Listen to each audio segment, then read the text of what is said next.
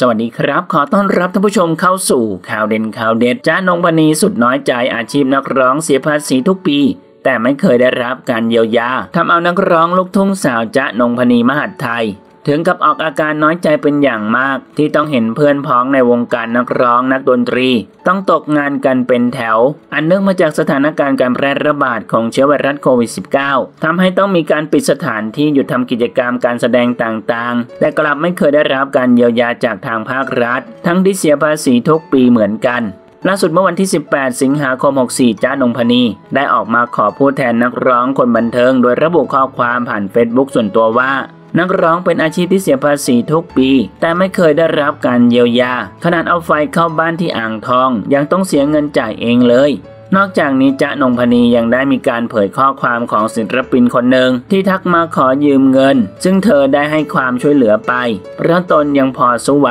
ส่วนเพื่อนศิลปินบางคนไม่มีจะกินแล้ว โดยเธอได้มีการระบุข้อความว่า นี่คือหลังบ้านที่เป็นศิลปินไม่มีเงินจะกินกันแล้ว มองเห็นพวกเขาหน่อยจ้าอย่างไรก็ตามยังมีชาวเน็ตเข้ามาแสดงความคิดเห็นเล่าถึงปัญหาความเดือดร้อนต่างๆ ผลกระทบที่ได้รับจากสถานการณ์โควิด -19 ที่ไม่แพ้ 29จังหวัดที่ถูกล็อกดาวน์แต่มาตรการเยียวยากลับไม่ทั่วถึงทั้งประเทศท่านผู้ชมนะครับ มีความคิดเห็นอย่างไรกับเรื่องนี้ลองแสดงความคิดเห็นกันเข้ามาดูนะครับ ขอขอบคุณข้อมูลจากทีนิวส์ขอบคุณครับ